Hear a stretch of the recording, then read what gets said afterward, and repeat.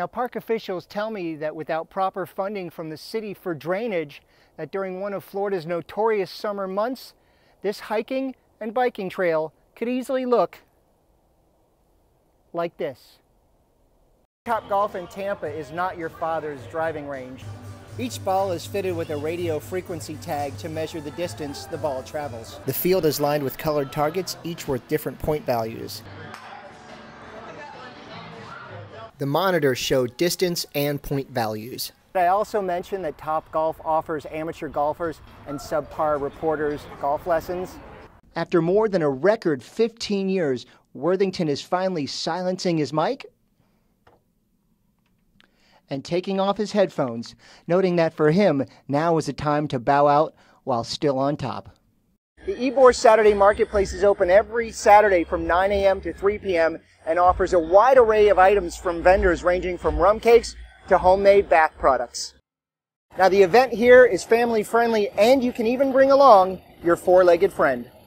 With more than 2,800 breweries operating in the U.S., craft beer sales grew by almost 20% in 2013, now accounting for almost $15 billion of the current beer industry.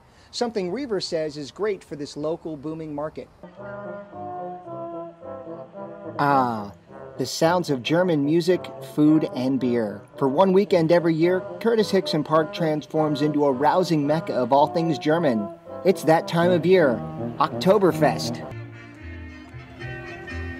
The event, rich in tradition, started over 200 years ago in Germany to celebrate something that's pretty common today. The original Oktoberfest was all about a wedding, um, and they had all the breweries that were in the county region of Munich come together, brew beer, serve beer, and it was all about a celebration of family, friends, and gathering. Nicole Winkler is the co founder and director of the festival. She says this event has been a long time coming for the city. It was something that I didn't think was represented right here in downtown in the city of Tampa. Festival goers have an opportunity to wet their whistles on a wide array of different beer styles too. The light is our Beck's Pilsner. We have uh, the Goose Island Oktoberfest, we have a Blue Point Oktoberfest, and we have a Victory Fest beer. Those are all Märzens, which is the traditional Oktoberfest beer of Germany. Winkler also reached out to Tampa's Coppertail Brewing to make sure the Sunshine State was fairly represented too. We talked to those folks, and sure enough, they were willing to brew us our own signature dunkel for this event.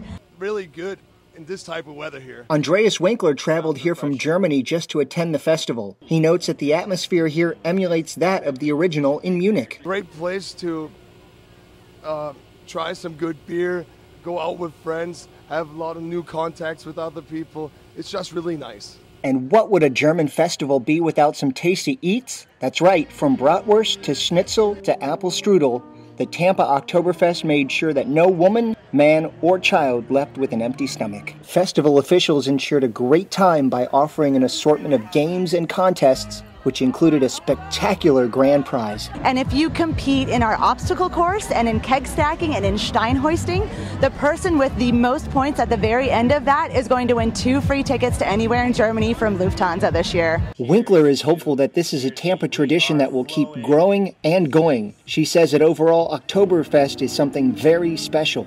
And we as Germans, we call that it's a festival of Gemütlichkeit. And that's just coziness for us as Germans. And that's what we're all about here at Oktoberfest Tampa. Herzlich willkommen in Tampa auf dem Oktoberfest. I couldn't have said it any better myself. Reporting from Tampa, Anson Tucker, Hawk TV News. Walk into any grocery store nowadays, and chances are you'll find a shelf or two dedicated to organic foods and clean eating.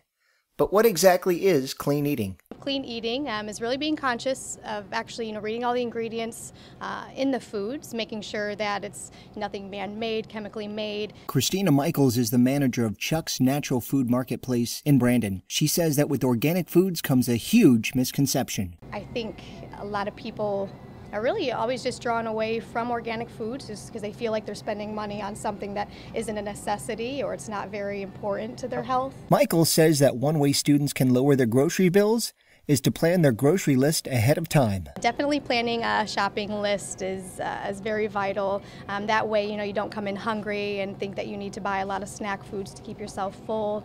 And what about fruits and vegetables? Which ones are better to buy organic? We asked organic foods educator Renata Piccola. She says the answer truly lies on the surface. Just try to buy fruits and vegetables um, that, that are porous, try to buy those organic. In addition, Chuck's Natural Food Marketplace offers all students with valid ID a 10% discount on groceries every day, as well as a 20% discount every second Tuesday of the month. So for students, there really is no excuse for a happy, healthy, clean eating. Reporting from Brandon, Anson Tucker, Hawk TV News.